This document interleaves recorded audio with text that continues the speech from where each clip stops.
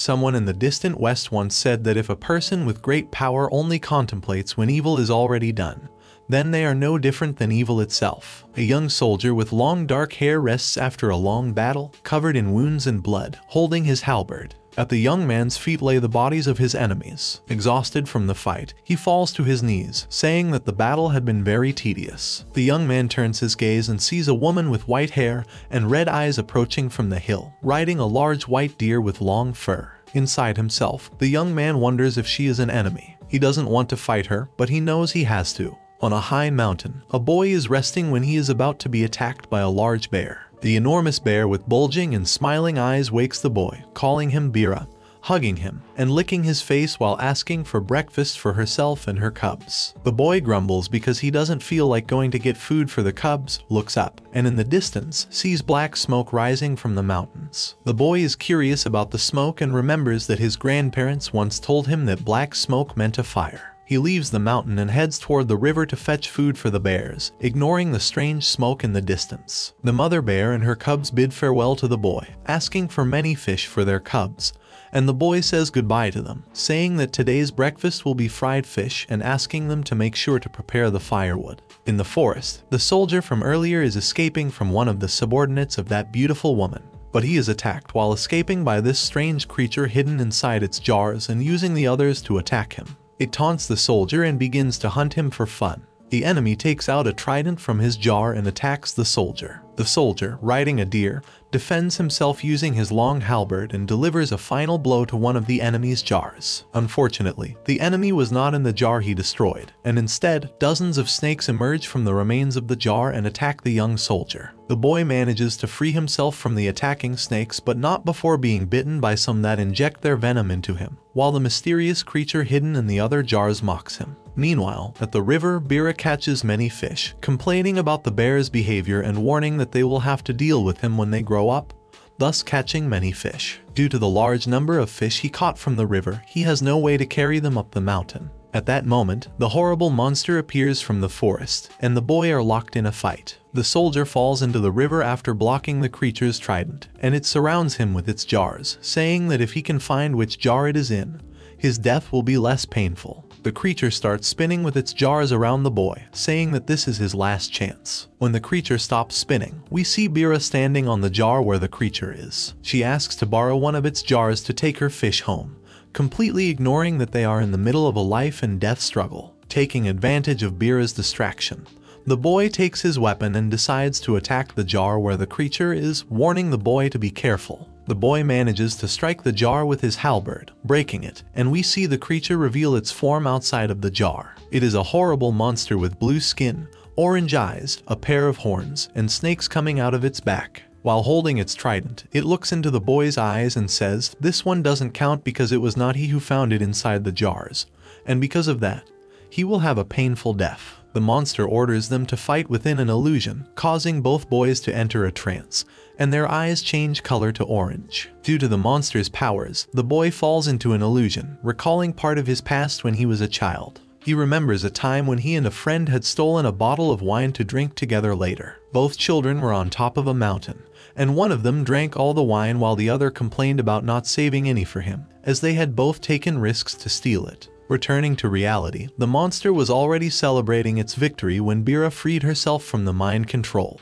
and began to speak with the horrible monster as if nothing had happened. Bira started scolding the boy for destroying the monster's jars. Confused by the situation, the creature tried to silence Bira so she wouldn't wake the boy from the hallucination. Due to the commotion caused by these two, the boy broke free from the hallucination and protected the boy from the monster's attack. The monster lunged at them to attack, and the boy used his halberd to launch an attack, cutting off one of the creature's feet. The monster recoiled in pain as it had lost a foot. Bira didn't understand what was happening and didn't realize that the monster wanted to kill them. The other boy told her to leave immediately and then collapsed on the ground due to the effects of the poison. Both opponents were lying on the ground, one poisoned and the other having lost a foot. Bira tried to take advantage of the situation to escape and avoid getting further involved in this problem. The horrible creature, in a mocking tone, asked Bira to please continue writhing since this was her way of paying for the sin of aiming her weapon at its leader. Suddenly, the monster pulled a flute out of its nose and began to play it, causing numerous snakes to emerge from the remaining jars. From the three jars, many snakes emerged, forming a sort of tentacles. The boy with the halberd got up and grabbed Bira to get her out of the danger zone.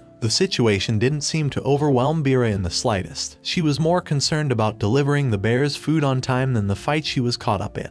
The horrible creature started regenerating its severed foot until it was completely restored and blew the flute harder, making the snake tentacles go straight for the boys. The boy, dodging the attacks, saw Bira lying unconscious, thinking that she had been bitten by the snakes. He made it his goal to end the fight and take him to the nearest hospital. On the other hand, Bira was only pretending to be unconscious, hoping to find the best opportunity to escape. With the halberd in one hand and Bira in the other, the boy began to cut the snake tentacles to make a path. In her mind, Bira considered bringing some snakes to the bears for them to eat, but she dismissed the idea, thinking they would probably complain about the taste. The poison acted again on the boy, causing both of them to fall into the water without the strength to get up at that moment. They began to drown in the river, even though the water wasn't very deep. The boy got up from the water only to see the horrible monster launching itself towards them to attack with its trident. To avoid the trident's impact, he decided to shield Bira with his body, intercepting the trident's path. But before the trident could hit them, a strange force destroyed it and pushed the monster away from them. The boy, unaware of what was happening, took advantage of the situation to escape the battle and ensure Bira's safety, who was still pretending to be unconscious. After being pushed away by the strange force that protected the boys, the monster became angry and remembered the moment when its leader had let the boy's prisoner go. It saw the leader's expression of sadness and pain when letting him go, and this boy had taken one of the leader's belongings. The creature, angry and determined to finish off the boy with the halberd, began to blow its flute with even greater force, causing more snakes to emerge from its jars, forming a kind of tentacles. Finally, the horrible creature introduced itself as Kulan of the sect, the demon of the northern sky. While they were escaping from Kulan, the boy experienced paralysis again due to the snake venom. He fell into the not-so-deep water, almost drowning Bira, who was pretending to be unconscious. This happened several times in a somewhat comical manner, but because of it, they were caught by Kulan, who rode on his snakes as if they were a wave. Kulan, who was on top of his snakes, mocked the boy because he couldn't handle the effects of the poison and launched an attack against both of them to finish them once and for all. He made all his snakes attack the boy together,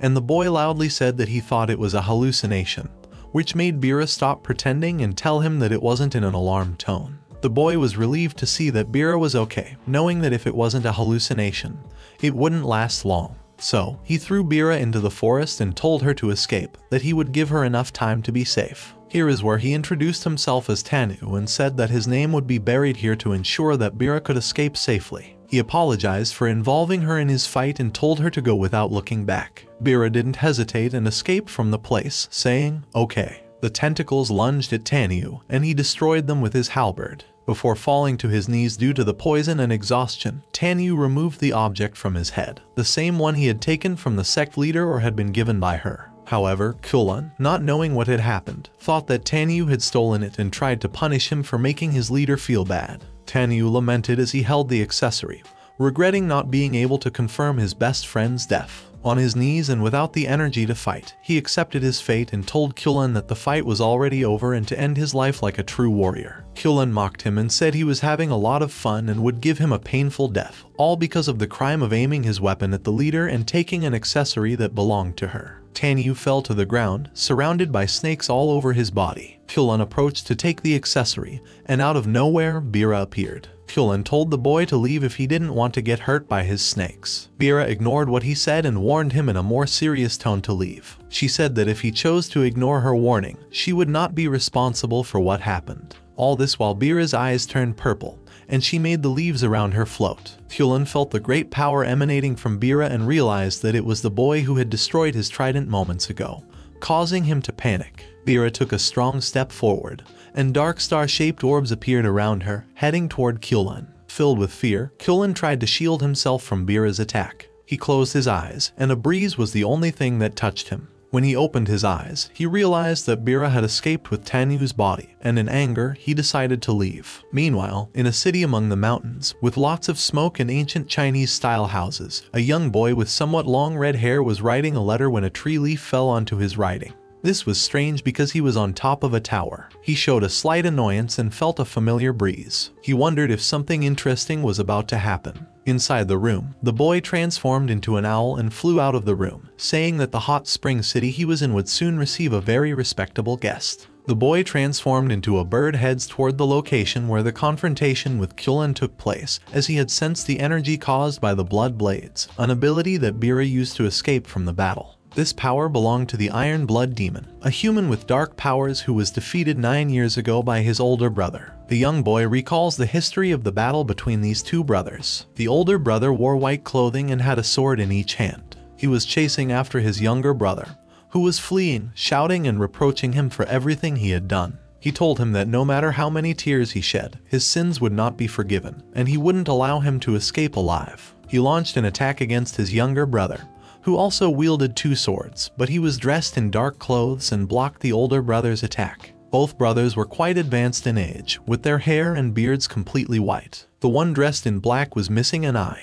after stopping his attack, the younger brother reproached the older one, saying that calling his younger brother his greatest enemy was simply too much, all while having a smile on his face. The older brother denied being his brother anymore, and the other replied that whether he saw him as a brother or not was something he no longer cared about. The older brother, losing patience, launched a very powerful attack against his brother. The younger one asked him if gouging out an eye would be acceptable, just as the older brother had done to him. He also launched a dark attack against his brother. As both attacks collided, they exchanged positions, and tears flowed from the older brother's eyes while blood flowed from the younger brother's eye. Then, the younger brother fell into the chasm of stone columns with a hole in the middle caused by the older brother's attack. With his last words, he told his brother that when he got angry, he looked quite benevolent and advised him to take care before dying and falling into the great abyss. Back in reality, the young boy began to analyze the situation and thought that possibly the demon had come back to life. Meanwhile, after the embarrassing defeat, Kulan withdrew to collect his jars and realized that one of them was missing.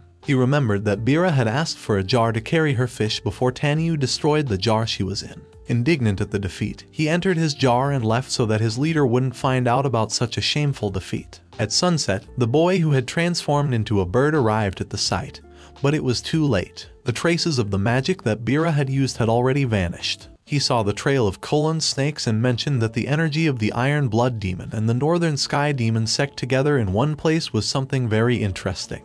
The leader of the sect, who had also headed to the battle site, watched as the young boy flew away. The strange creature he was riding referred to the boy as the master of Hwamagwan. The young leader's elderly deer commented that it was the first time he had seen Kulan lose, and she replied that a higher force must have intervened in the battle. Changing the subject, the elderly deer mentioned that he had never seen her so interested in a prisoner to the point of letting him go with one of her accessories, and they both seemed to be of the same age for marriage. The girl asked him to stop talking about that topic, or she would have to go on her own. The elderly deer apologized to his leader, saying that he was naturally a curious creature. On top of the mountain, we see Tanyu's body resting. He wakes up and notices the aroma of fried fish. When he looks around, he sees a giant bear eating fish in front of a campfire. Tanyu thinks he is dead and that in heaven, bears cook their own fish. The large bear sees him and tosses him one of its fish to eat. The mother bear gets up and takes her cubs away, revealing that Bira was behind her, eating her fish. In other words, Tanyu had not died, and Bira tells him to eat quickly before his food gets cold. Thinking he had died in battle, he feels relieved to have saved the boy before dying. Then, he looks around and sees a large bear sitting by a campfire, eating. The bear offers Tanyu a fish to eat. Tanyu thinks the bear is some kind of god and accepts the fish it gave him. The large bear gets up, and its cubs, which were also eating, climb onto its back as they decide to take a stroll. As the bear moves, it reveals Bira, who was also eating with them. Tanyu apologizes to Bira for not enduring the battle longer and for causing his death. Bira asks him if he's out of his mind and suggests he eat before the food gets cold. Tanyu realizes at that moment that he's not dead and is surprised to find no wounds or traces of Kulan's poison on him. In his mind, Bira says that level of poison was nothing to him. The great bear turns out to be the same mother bear with her cubs that we saw at the beginning of the story, sent by Bira to get some fish to eat. Tanyu thinks the mother bear saved them and bids her farewell with respect, believing her to be the god of the forests. Tanyu wants to offer something to the bear, feeling indebted, but Bira thinks in his mind that Tanyu didn't hit his head but is just an idiot. Tanyu searches through his clothes and finds a bottle of wine to give to the bear, but it's gone. Bira looks at the bottle with astonishment and a desire to drink it. Tanyu tells him it's a bottle of wine and that he wanted to share it with someone special to him. Bira, wanting to have a sip of the wine, asks him to give it to him since he's very close to the god of the mountain and will give it to the god on his behalf. Tanyu tells him no, as he's still too young to drink alcohol. Indignant, Bira calls him stingy for using the excuse of being an adult and labels him as such. Tanyu starts to remember the days of his childhood. In his memories, he called Bira Sool, and on that day, they had stolen the wine to have a toast to celebrate their adulthood. Sool gets drunk, drinking all the wine, saying he understands why adults like it, and suddenly starts crying, asking Tanyu if he's really leaving the next day. To ease his friend's pain, Tanyu gives him a forehead accessory as a gift with the promise to return it when he becomes famous. Tanyu recalls his childhood friend with joy. When he stops reminiscing, he realizes that the wine bottle has disappeared, and Bira, on the other hand, has drunk it all. Bira drinks the entire bottle and gets drunk immediately, repeating the same words Soel said when he got drunk. He realizes this and starts acting calmer in front of Bira. The latter falls backward and ends up rolling until he bumps into Tanyu's back. Bira advises him that in any dangerous situation, he should first think about saving himself rather than others and should not say things like I will save you. Tanyu apologizes for worrying him, and Bira tells him it's already done, and he doesn't need to worry. For a moment, he gave the impression of being a trustworthy person and reminded him of someone dear, saying that he was just like him, showing the silhouette of Tanyu from behind and the Iron Blood Demon, also from behind who turns around, revealing the same purple eyes that Bira had when invoking his power. Bira remembers the day he separated from his grandfather, known as the Iron Blood Demon, who told him to stop trembling and leave. His grandfather would be with him. A younger Bira with tears in his eyes doesn't want to let go of his grandfather, and he wants to go with him too. Returning to the present, Bira, drunk and with tears in his eyes, whispers that he misses him, wondering if he's still alive. Tanyu sees him like this and, to change the situation, asks for his name. The boy tells him his name is Bira, the name his grandfather gave him. Then his attitude changes, and he tells Tanyu he won't tell him, as they won't see each other again. Tanyu laughs and tells him he can count on Bira. He then asks if Bira was fishing earlier, which excites Bira, who suggests they go fishing together before falling asleep from drunkenness. Tanyu removes his cloak and covers the boy. Inspired by the way Bira lives his life without giving up, he takes up his weapon and decides to return to the young lady who set him free and handed over Soel's accessory. Despite having taken his life lightly for a long time, he is determined to return and see his deceased friend's body recalling the words the young lady said when they met, that if he caused trouble for the sect again, she would kill him. He leaves, leaving Bira behind, who was dreaming of his grandfather on a fishing day with the bear. The master of Achwamagwan, the name of the city he escaped to, to go to the site of the confrontation where he felt the demonic power. Upon arriving at the tower he had left a few hours ago, is interrupted by a fair-haired girl with a rose in her eye as an eye patch who enters the room and asks where he had been. She mentions that the sisters from the Eastern Fire Demon sect were visiting. The young master apologizes for his absence, explaining that it was an emergency. The three sisters from the fire sect, all of them elderly and very similar in appearance, were enjoying a feast and some liquor. When the young master approaches them, he hands them a fine bottle of wine. They become excited and begin to praise the handsome young man. The young master introduces himself as Banjo Oraboni, a person with great influence in the city and among the sects. They had visited him to inform him about a problem they were having with the Northern Sky Demon sect. Recently, this sect had been inherited by a young leader and some of its members, in protest, had attempted to assassinate her to remove her from power. She killed them and imprisoned everyone involved, except for the children. The problem lies with the fugitive children who had discovered some strange and mysterious arts, injuring the children of the fire sect, even though they had nothing to do with what happened. Banjo states that it's time to clean up the Northern Sky Demon sect, and he turns to his assistant, Choryung, to handle the situation. She leaves the place and approaches a large, robust man who is splitting firewood. She asks him to talk for a moment, and the big man thinks she has accepted his dinner invitation. However, the girl tells him to stop fooling around and that she needs him to locate certain people. The man is tempted to refuse her proposal, but since it's an order from the young master, he is obliged to obey. In a flirtatious manner, he invites her to dinner again, but she rejects him, saying she wouldn't go out with someone who eats larvae. He exclaims that they are not larvae but butterflies and then leaves the place with a big jump, exhaling a bunch of green butterflies from his mouth. Two employees who are nearby see the butterflies from the robust man and say they are beautiful but that they would never approach him because he is very careless with his appearance. Choryung overhears them and gives both women more work as punishment for speaking ill of that man. Returning to the young master and the three sisters, they ask him where he had been a few hours ago. He tells them that he doesn't feel happy talking about it, but the sisters keep insisting. He responds that he felt the presence of an energy similar to that of a pure-blooded metallic demon, referring to Bira. This news leaves expressions of fear and astonishment on the faces of both sisters. Bira, who had sobered up from his drunkenness, begins to follow Tanyu's trail and senses that something is about to go wrong soon, alluding to something the mother bear had told him before she left back in the city of Hwamagwan. The three sisters were enjoying the wine and the views of the city. They also comment on the person who made this city so prosperous, known as Elder Yu Mabik, the older brother of Bira's grandfather, the one who defeated the iron-blooded demon. Changing the subject, the sisters ask the second sister how she allowed the two runaway children to escape. She tells them that she is already quite old, and besides, those children had used an ability that she had never seen in all her years. In her memories, we see the two children, both with a cold and malevolent look, two horns protruding from their foreheads, and a blue aura emanating from the boy's axe. Tanyu arrives at the ruins of a village in search of his best friend's body but is attacked from the shadows by one of the escaped children who attempts to assassinate him. Tanyu mistakes him for an ordinary bandit, which angers the boy. Offended, the boy asks how he dares to compare him to a simple bandit. All the while, he attacks Tanyu with his large axe, stating that it will be an honor for Tanyu to die at the hands of someone much stronger. Tanyu remains calm and ignores the boy's words,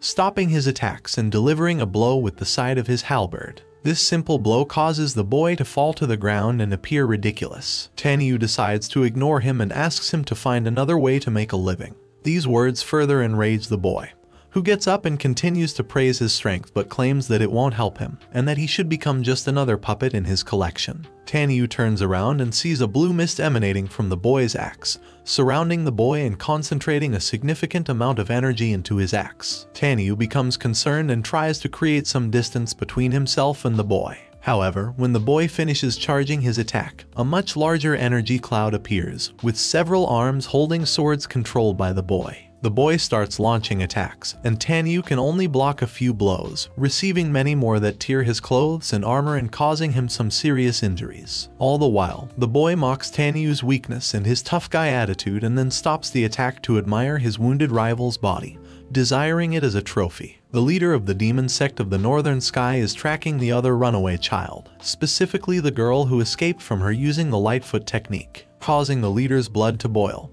indicating that she won't give her the chance to escape alive. In the ruins of the village, we see smoke rising from the battle, with Tanyu lying defeated on the ground alongside the boy who had lost the fight but was saved by the other runaway girl. The boy becomes angry with her and hits her in the face for interfering in his fight, referring to her as Yewa. She falls to the ground, terrified by her brother's expression, and runs away to hide with tears in her eyes. Meanwhile, the annoyed boy starts using his mist to devour Tanyu's body and add it to his collection of corpses. As Yewa remembers what happened in the battle, the boy had been defeated, and to save him, she took his axe, intensifying the boy's power and defeating Tanyu with a single strike. However, Bira falls from the sky, who was there looking for Tanyu but sees him lying on the ground being devoured by the boy's mist. The boy arrogantly tells him to be patient as he will soon reunite with his friend. Bira becomes angry and begins to unleash his energy, causing panic for the girl who is hiding because she feels Bira's power and knows that the boy is in danger. Bira, in anger, releases a shockwave towards the boy, pushing him away from Tanyu's body and preventing his mist from devouring him. The leader of the sect was close to the village, following the girl's trail when the explosion caused by Bira catches her attention. Returning to the battle between these two, the blue energy of the boy becomes increasingly intense. Human bodies with red masks begin to emerge from the mist, revealing that the hands holding the swords within the mist belong to these strange beings. This power was not used by the boy but by the girl, Yewa, in an attempt to protect her brother from Bira's power. The mist begins to surround Bira, forming a vortex. Trying to get rid of the mist, he sends another shockwave, causing the bodies within the mist to attack him with their swords. He receives the impact and falls to the ground. At that moment, the sisters were discussing the runaway children, mentioning the girl's ability to escape from the leader of the demon sect of the Northern Sky, the Lightfoot technique. They also describe the boy's ability, which allows him to create human-like puppets to give orders to at his will. One sister mentions that the real danger is not the boy but the girl who accompanies him because, in addition to using the shadow step, she can also use the network of dead warriors that her brother uses,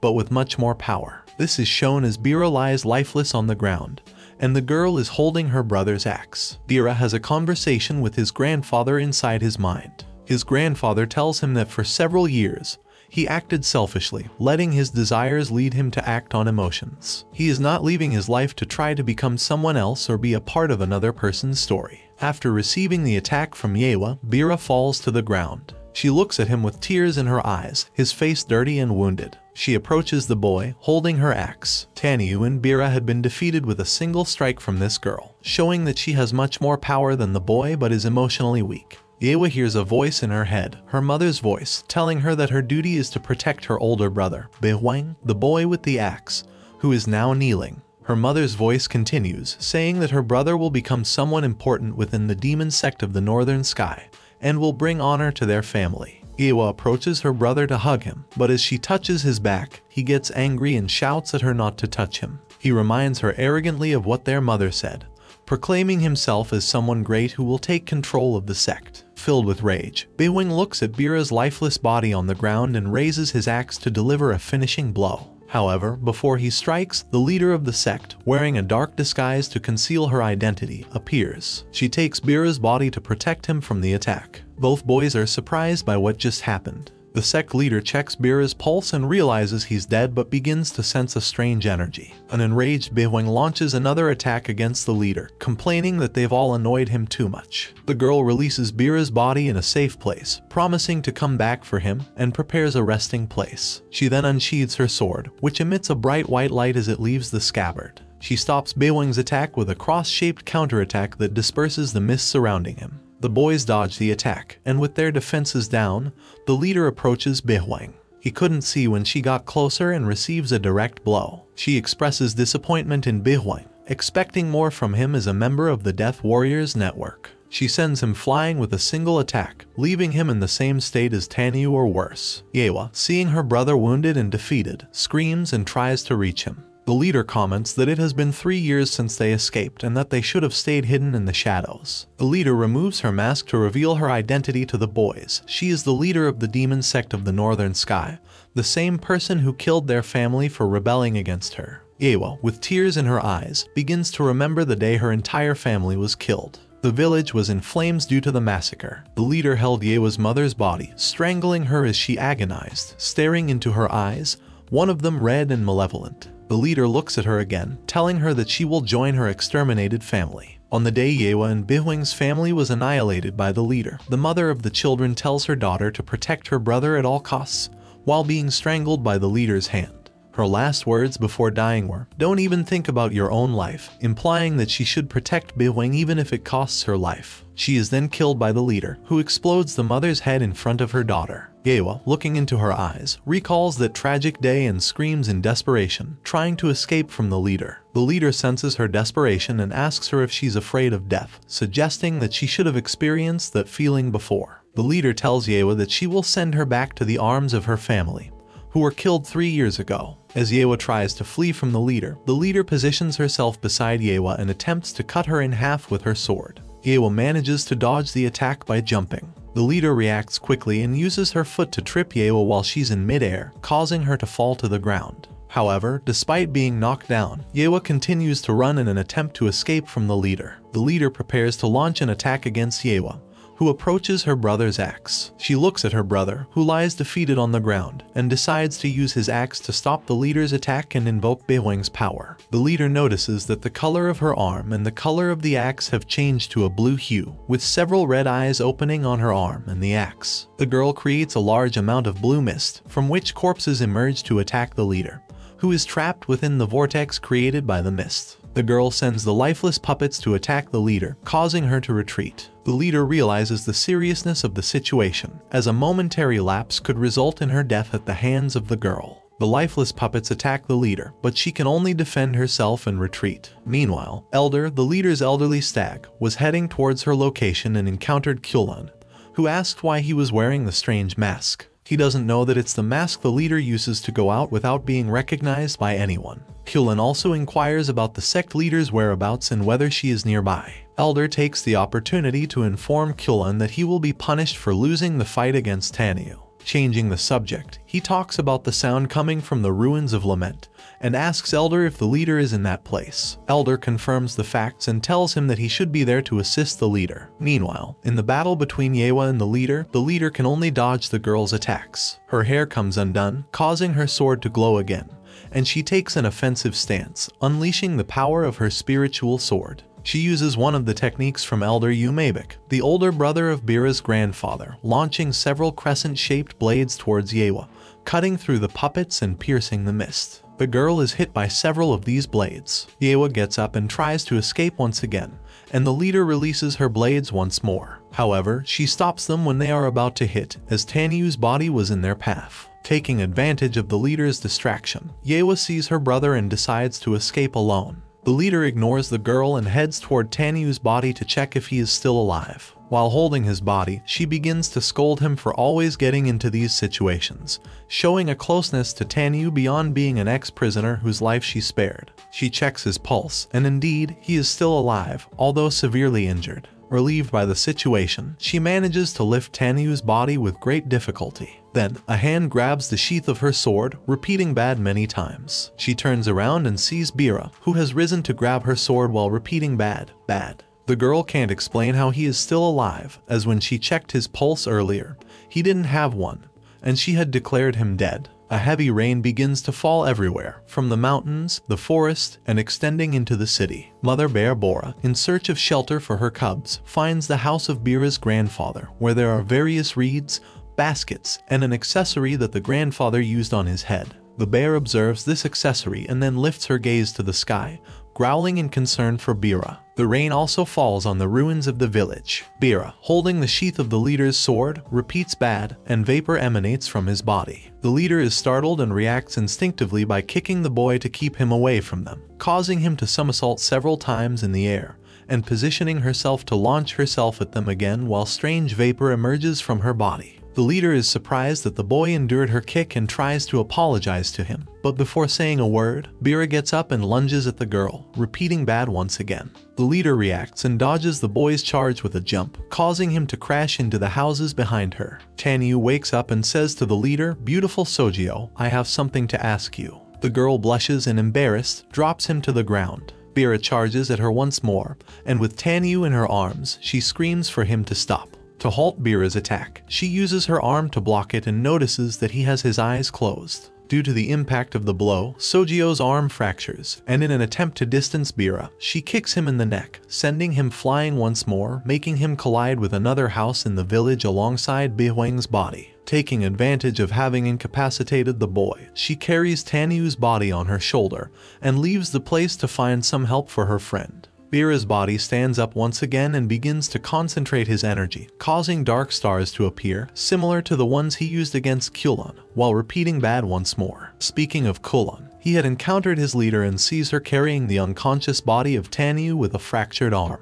While Kulan asks his leader who did this to her and why she keeps saving Tanyu's life and if she has feelings for him, they are interrupted by the commotion caused by Bira, who has jumped with great force, ascending to a considerable distance. Sojio and Kulan turn to see what is happening, and both recognize the boy with surprised expressions on their faces as they watch Bira in the air. In the city of Achwamaguan, young Master Banjo, while smoking his pipe, watched the rain falling from his balcony. However, he is interrupted by Choryung, who says that the clouds are gathering and proceeds to give him research reports. Choryung mentions that some nobles and priests from the southern region were heading towards the altar of a hundred souls to offer a sacrifice. Banjo becomes intrigued but changes the subject by asking if the elderly women had left. Choryung tells him that they have, explaining that the elderly women's shoulders were aching due to the rain, so they are taking a bath in the hot springs. He is pleased that the elderly women's mood is improving, he also inquires if there is any news about Hugo, the robust man Choryung sent to investigate the whereabouts of the leader of the demons of the Northern Sky sect. She tells him that there hasn't been any news about him yet. In a casual tone, Banjo asks about the dinner that Hugo had been offering him, and she responds by telling him to mind his own business and that it's a personal matter. Banjo laughs and asks her not to get angry while he opens a cabinet where a small sword with a red ribbon and a copper-like oxidized color is kept. Choryung asks why he is taking out such an antique,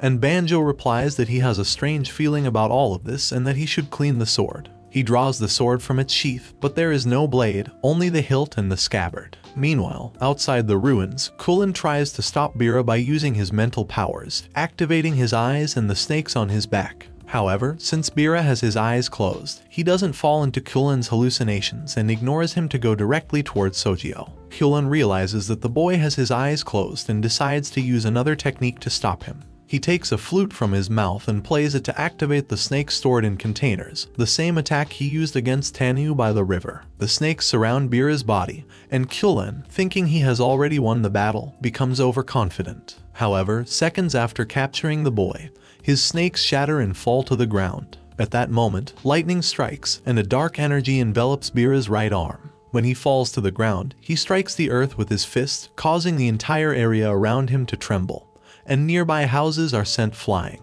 Kulan tries to dodge some debris in the air, but gets hit by one and becomes trapped. The leader sees the destruction Bira is causing and, using her voice, makes the energy sword unsheath itself, covering her with several swords to protect herself and Tanyu, destroying the debris heading their way. The girl escapes the destruction caused by the boy, aiming to take Tanyu to a safe place where they can treat his injuries and prevent him from dying. On the day Tanyu left the sect, he made a promise to his best friend, Soal. He promised that when he became a general, he would return and make Soal his advisor so they could be together in the war. Both pledged to become great people by the time they saw each other again. Sojio responds to all of this by saying that if Tanyu's idea of being a great person involves all this destruction, Bira emerges from the rubble, still pursuing them for a fight with the girl. Sojio, tired of the boy, retracts her sword and decides to engage in combat with him to give him a swift death. Sojio unleashes the power of the sword, preparing an attack called the Sky of the Void. In the distance, Kulan sees this and knows that this ability will harm her as well. Determined to stop her, he approaches her and begins questioning her about her relationship with Tanyu and why she has his accessory. All of this is in the form of a rebuke the leader only turns to tell him not to cross the line, or it will be his death. As a final act to stop her and prevent her from getting hurt, Kulan tears one of the snakes from his back to bite it, causing his eyes to glow in a very bright orange tone, activating a secret ability. Elder and Tanyu's mount were getting closer to the battle site to help their masters. The elderly animal, tired and complaining, is surprised to see the aftermath of the fight visible from where they are. Returning to Sojio, who is being pursued by Bira, she decides to fight and kill the boy. However, she stops when she sees a large ring of fire opening in the sky, and then finds herself enclosed in one of Kulan's jars. This particular jar, due to Kulan's power, catches fire and starts rolling over her. This is done to create a portal and remove her from the combat zone. A kind of fiery mask forms over her eyes. Kulan tries to distract Bira to gain more time to use his teleportation ability he sends his jars to distract the boy, who is chasing the one containing the leader and Tanyu. However, this doesn't work as Bira ignores the other jars and continues pursuing the one Kulan is using to fly. He attempts to trap the boy again using his snakes to buy more time. But once again, it proves futile as Bira destroys the jars and heads back towards them. Kulan asks the leader to be patient and assures her that she won't let her out until she's safely out of harm's way. Despite feeling dizzy, Bira lands on the ground and concentrates his dark energy in his fists while Kulan exclaims that he has enough speed to activate the portal swap. In his mind, he acknowledges that he'll fall unconscious after using the ability but doesn't care as long as his leader is safe. As thoughts race through his mind, he realizes he has feelings for Tanyu too, muttering to himself that Tanyu likes her as well. Within the jar, after all the spinning and commotion, she ends up kissing Tanyu while listening to Kulan's words. With tears in his eyes, Kulan activates the portal, sending the leader far away, and the portal closes. He attempts to save her from the Great Fall, revealing that Kulan had only sent their leader, not Tanyu. After the bright flash caused by the explosion of Kulan's last jar, Tanyu's body falls, causing the two to collide heads and snapping Bira out of the strange trance he was in, incapacitating him. Kulan, who was also falling with them, realizes that the boy was not after the leader but rather the dreaded prisoner, referring to Tanyu. With no strength left to continue fighting, he falls unconscious along with Tanyu and Bira, leaving all three out of the battle. While the battle unfolded, Hugo, in his search for the young leader, encounters Yewa on his way. He recognizes her and wonders if she's the same girl the sisters were talking about recently. The girl wakes up upon seeing one of Hugo's bright green butterflies, finding him standing in front of her. There's a lot of fire around, and a voice in the background that, upon seeing Bira, shouts, grabbing his attention and making him turn his gaze. As he turns, he beholds a strange creature with long hair covering its entire body, chained in all directions. Within all that hair, a large purple eye becomes visible, reacting upon seeing Bira's eyes, causing large eyes to appear inside the place, all fixated on the boy. The creature's voice yells at him to step back and return at once, waking Bira from the dream he was in. Upon opening his eyes, he finds himself on comfortable ground with a warm and friendly climate, with yellow birds flying overhead. He exclaims that his head hurts, unable to remember anything after drinking Tanyu's wine.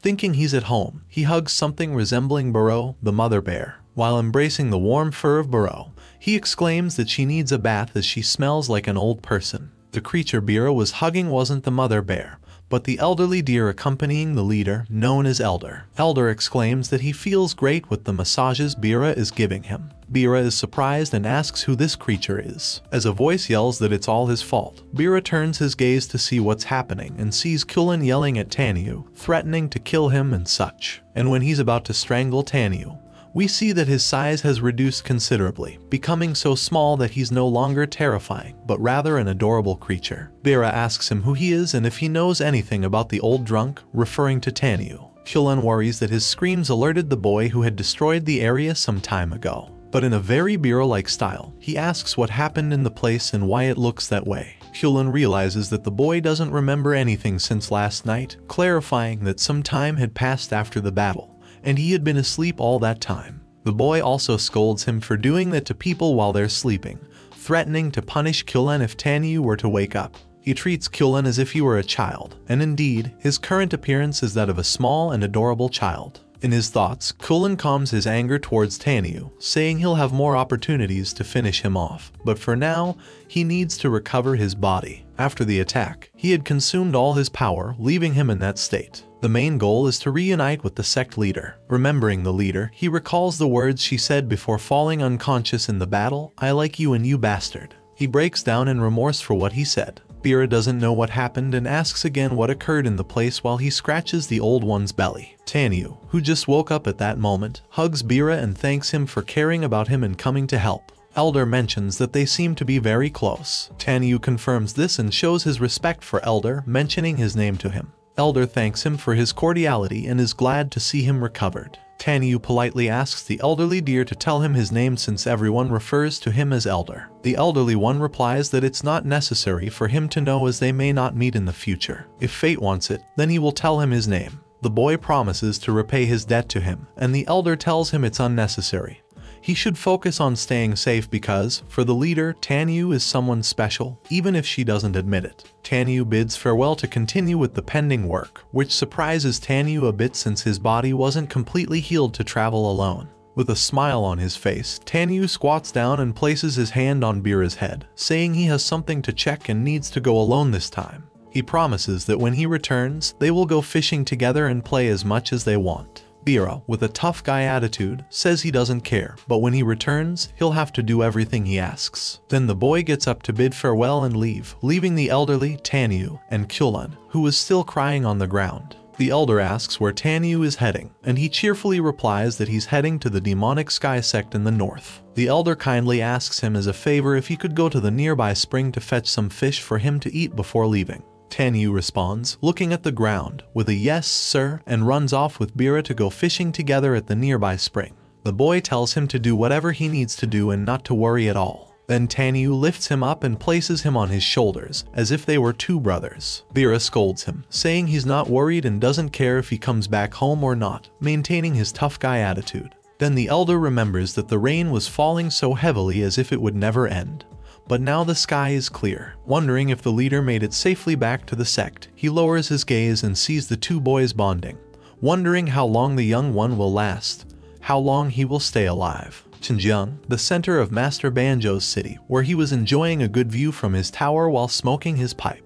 His assistant, Choryung, informs the young master that Hugo has returned but couldn't find any trace of the sect leader due to the heavy rains. Banjo is somewhat disappointed as the renowned butterfly tracker returned from his mission empty-handed and asks his assistant to tell Hugo to take a break. He also mentions how good it will be when the old ladies start spreading the rumor about the arrival of the Iron Blood Demon. Choryung asks if it's true that this demon died nine years ago. Banjo confirms this, explaining that the demon was killed by his older brother. Then she asks why he lied to those old ladies about the demon. He tells her it wasn't a lie and not to worry about it, he's just preparing to obtain merchandise. The girl leaves the young master's room and on her way, she meets Hugo, who whispers to her and asks her to come with him. Master Banjo, talking to himself, speculates that maybe it is a lie since the demon everyone fears is already dead. He wonders to whom that strange energy he felt a few days ago belonged, something that no one in the kingdom will forget. The biggest villain known to date, the Iron Blood Demon, who threatened to destroy the world more than once. A name that instills fear in many when uttered. The only person in the world who could stop him was his own brother. They crossed swords 11 times throughout their history, in one of their numerous battles where the demon was defeated. His brother took his eye and half of his life, asking him to live the remaining half humbly on earth. And once again, the demon reappeared before his brother with a mocking laugh, planning to destroy the world by opening the gates of heaven and hell. Nine years have passed since that day, and Master Banjo was also involved in the defeat of the feared demon. He assisted his elder brother in locating the demon, transformed into a white fox, resting on his master's neck like a scarf, witnessing firsthand the great battle that was about to unfold. This battle was the last of all, where his master emerged victorious, ending the life of his younger brother, who died with a hole in his chest. In his last words, he told his Hyungnim to take care of himself, and his lifeless body fell into the abyss. But the problems didn't end there because with his death, the giant monster he had brought remained. This creature, in the form of a massive serpent, opened its mouth and eyes that appeared all over its body to devour everything in its path, making the whole world feel the fear of the world's destruction. Master Banjo comments that nine years have passed since that terrifying moment, and maybe it's his obsession with the demon. Recalling the day of his death, he didn't see a bloodthirsty, heartless demon but the eyes of a person with a clear conscience, as if they were a child's eyes. Meanwhile, Hugo guides Choryung to a small storeroom where Yewa, the runaway girl who escaped the sect massacre, is hiding. In the pond where the boys were fishing for the elderly deer, Tanyu is unable to catch a fish effectively. In a drowsy tone, Bira asks if he's going to keep trying to catch just one fish. Tanyu replies that when he was a child, he caught many fish with his friend Soel, and trusted himself a little. Bira changes the subject and asks if he was looking for his friend before. Before answering his question, Tanyu catches his first fish. Bira can't believe he caught a fish using such a strange fishing method, saying that the elder will love his fish. Responding to his earlier question, he tells him about the promise he made with his friend when they were children. Once he becomes a general, he'll come back for him and make him his subordinate. Bira says if he wasn't the subordinate already because the uniform he was wearing looked like that of an ordinary soldier. With absolute confidence, Tanyu affirms that his friend is still waiting for him, and if what the miss said was true, he would offer a wine in his honor. Bira, in his own style, breaks the atmosphere by asking if his friend was as much of an idiot as he was for making such a cheesy promise. Then they leave the place in search of fruit, as no deer they know eats fish, leaving Tanyu embarrassed as he drops the fish out of shame returning to the sect leader, who was on her way to the demonic sky sect after the battle, and being transported by her subordinate. The old deer finds her and is sent back to the sect by the elder's companion, who stays behind to tend to Kulan's injuries. Due to the continuous spinning inside the vessel, she had become dizzy and fell unconscious. She worries about her subordinates and the power the girl had used, as this was the final form of the network of dead warriors, an ability that controls the lifeless bodies of her enemies. The leader feels that a great calamity will soon befall this girl, and in the distance, the first views of the sect city appear. A great city in black and gold, surrounded by a great dark serpent that extends throughout the city. Soldiers from the sect find her on the arrival route and approach her. She asks them if the leaders have arrived, and they respond that they are in a meeting right at that moment. Returning to the elder, he tries to comfort young Kulan by asking when he will return to the leader. Young Kulan says he can't show himself to her in that weak form he has now because after the battle, his body had shrunk considerably, to the point of looking like a small child. Whimpering, he tells the elder that he must first regain his stronger form before meeting with the leader. After crying so much, young Kulan runs out of energy and falls into a deep sleep. The elder takes advantage of the moment to take a little nap while the boys go get some food. Near one of the ruined houses, a dark silhouette watches them while they sleep, with large green eyes fixed on young Kulan. Meanwhile, the boys were picking fruit to feed the elderly deer, arguing as if they were a pair of brothers. A little bird approaches Bira, shouting that there is a thief in the forest who took its treasure it had saved for a wedding.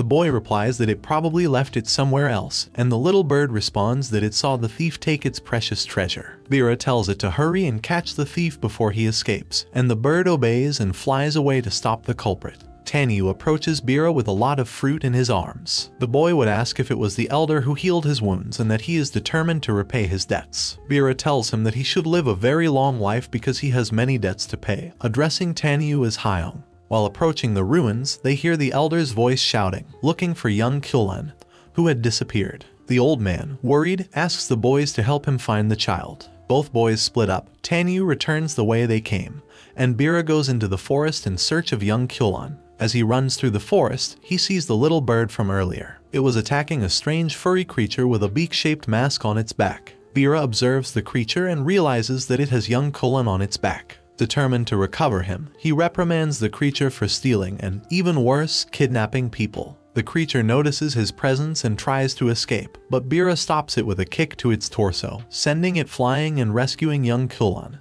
who is still asleep. The boy turns his back to leave, and the creature gets up from the ground, tears streaming from its eyes and its body trembling. Then, it screams loudly and pursues the boy. Bira stops and faces the creature to confront it.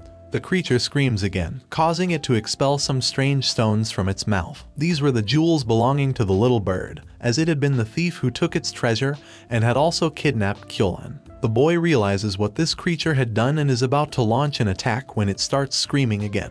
This makes Bira fall to his knees. This scream had induced a drowsy state in the boy, causing him to fall asleep. The creature stands in front of him, shedding tears and drool from its beak-shaped mask. Back in the city of young Master Banjo, a strange tree walks through the city streets, causing a commotion among the people because, more than being a simple tree, it had a person attached to it. This person, attached to the tree, walks through the city holding his sword and repeating several times, Iron Blood Demon, and asking where he was. Master Banjo would be resting in his tower, but he is interrupted by his assistant, who, concerned and agitated, asks him to go to the city center. There is something causing a commotion among the residents and merchants of the place, who only kept repeating that they would take care of killing the Iron Blood Demon. Meanwhile, the creature from the forest had captured Bira and Kulan, carrying them on its back, with Bira tied to a rope and holding young Kulan in its arms. It kept saying Muo wherever it went, causing every creature that heard it to fall asleep. Back in the city, the young master heads to the city center to find the tree man who was causing panic among its inhabitants. Showing kindness to the strange adventurer,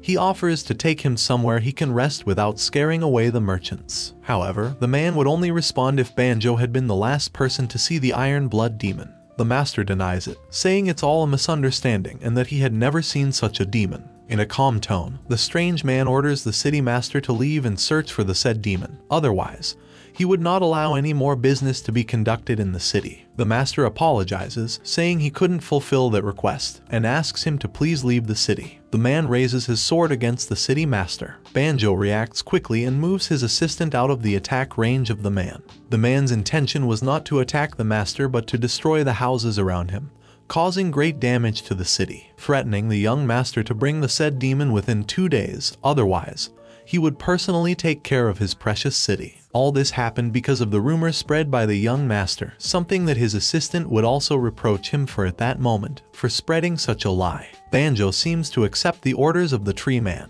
returning to the elder and Tanyu, who can't locate young Kulan. The elder apologizes for keeping him as he was in a hurry to leave for a job. Tanyu says it's not a problem since he has a debt to repay to him and offers some fruit he had obtained in the forest earlier. In the blink of an eye, the food would disappear from their hands, and loud snores would be heard nearby. Turning their gaze toward the source of the sound, they see the strange creature eating the fruit while holding Bira and Kulan on its body. Tanyu's cries, asking what the monster is doing with the kids, make it scared, and it runs away from the place. The elder and Tanyu run after them, wondering what kind of creature that is and why it had kidnapped the children. The old man would exclaim that the creature is quite fast and that if it weren't so hungry, he could catch up to it in no time.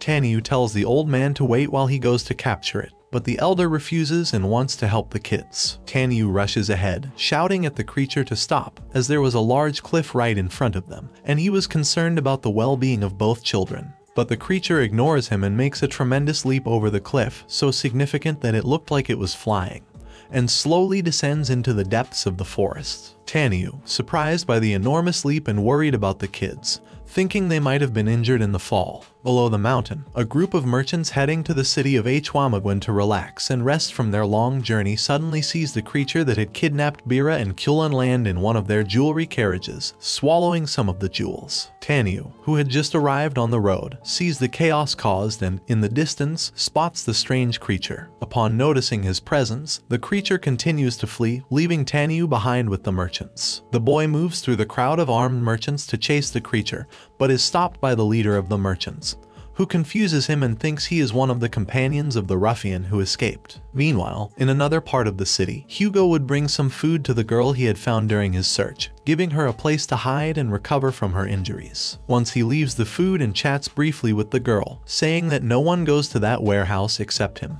He departs, leaving the girl in her hiding spot. She eyes the food with suspicion and is also somewhat hungry but decides to reject it and escape from the place. Both boys woke up from their long sleep caused by the creature's sounds, realizing that they were at the base of a tree, as if it were a shelter from the creature. The creature was sitting next to them, holding Kulan in its arms. The boy began to ask the creature why it had kidnapped them and brought them to that place. In his most depressing moment, Kulan started saying nonsensical things, like if he died, the moon would still shine and other such dramatic phrases. On the other hand, Bira scolded him, saying that everyone was worried about him and that it was his fault that he was also involved in this problem. The creature began to murmur moo moo moo, the only sound that came out of its mouth or beak. That's when Bira realized that after hearing that sound earlier, he had fallen into a deep sleep, and the best option now was to wait for the perfect moment to escape with Kulan. The boy's stomach rumbled with hunger since he hadn't eaten anything since the previous day. The creature heard this and started regurgitating some of the food it had stolen from Tanyu a while ago,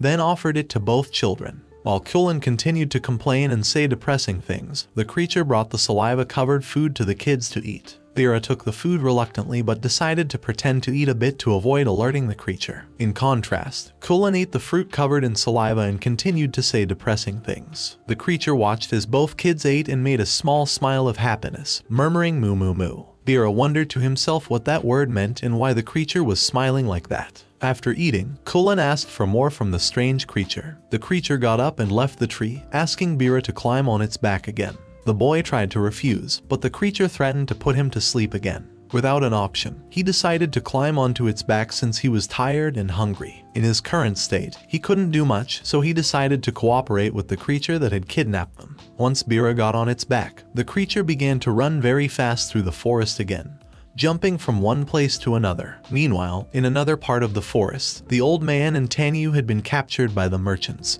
who mistook them for the thieves who had robbed them a while ago. The boy would complain to the leader, saying that they had nothing to do with the creature, and asked for some water for the old deer, who hadn't eaten or drunk anything for a while. The old man asked Tanyu not to worry about him and apologized for being a burden. Tanyu responded that it was not his fault and that he was not a burden. Instead, he felt indebted and believed he should repay him without making excuses. The merchants told them to be quiet, saying that they should be thankful they hadn't been killed after stealing their belongings. The boy tried to deny again what they were being accused of. The leader of the merchants responded that it was not the time to talk, and they still wouldn't give them any water if they were thirsty. The boy and the old man continued to talk about the situation, and the deer said that both kids were safe because he hadn't sensed any malice in the creature that had taken them. He also mentioned that in Kulan's case, he might not be as weak as they thought. Once again, the mercenaries told them to be quiet, threatening to hit them if they didn't keep silent back with the children. They were escaping on the creature's back from a swarm of angry bees that stung them many times. Bira complained to the creature that if it was going to steal honey, it should do it properly. Once they got rid of the bees, the creature eyed a large fruit, a bit bigger than Kulan in his current child form.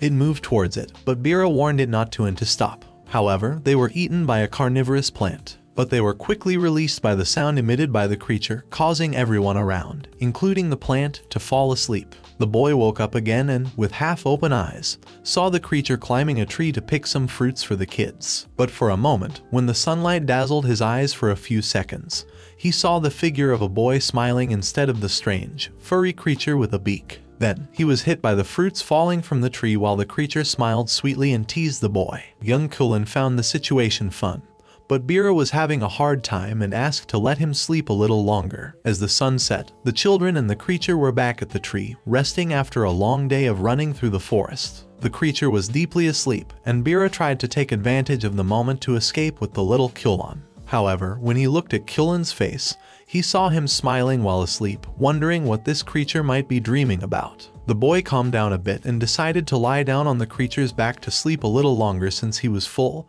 and wanted to regain his energy. Back in the city, the young master would be closely monitoring the strange tree man to ensure that he didn't scare away more merchants or commit any other madness. His assistant informed him that he had already sent messengers to all his merchants explaining the situation regarding the man obstructing the entrance. They also talked about the request the man had made. The girl believed that the demon they were talking about no longer existed, and it was impossible to fulfill what the man was asking for. The master was only wondering why that strange man was looking for the Iron Blood demon. This man, who was in the middle of the city entrance, surrounded by the debris he had caused a few hours ago, was resting and dreaming about a tragic day. It was a dark night, and chaos was rampant in the city. The boy was desperately searching for his brother everywhere. When he found him, he saw his brother lying on the ground with his legs completely destroyed. The boy was agonizing and with tears in his eyes.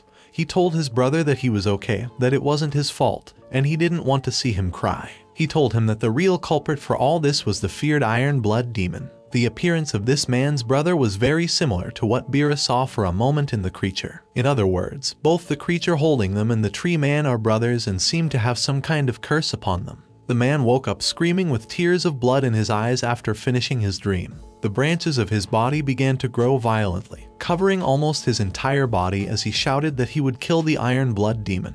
At the same time, the creature that was with the children also woke up. It seemed to sense its brother's scream and also shouted with anger, causing its fur to grow considerably, and its eyes to shine brightly. All the commotion woke up Bira, who was covered almost entirely by the creature's fur. With the night upon them, the merchants decided to camp and regain their strength to continue their journey the next day. The old man and Tanyu were sitting on the edge of the camp, eating some bread that the merchants had given them. Tanyu complained about how hard the bread was, while the old man enjoyed the food, thanking the merchants who replied that he didn't need to thank them since it would be sold once they reached the city. Tanyu expressed his concern for the children to the old man, and he replied that they needed to eat if they wanted to rescue them. For now, they had to do what the merchants told them. The boy saw in the distance how the creature that had kidnapped the children hours ago was flying over the trees at high speed. Tanyu commented to the old man, and he, having also seen them, broke free from the restraints that held him prisoner and asked Tanyu to quickly get on his back.